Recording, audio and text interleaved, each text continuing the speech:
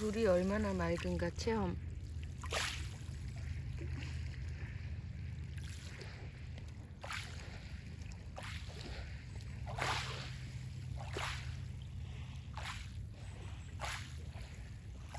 캐나다는 나라가 너무 커서 엄청 커서 아직도 이렇게 깨끗한 곳이 많아요.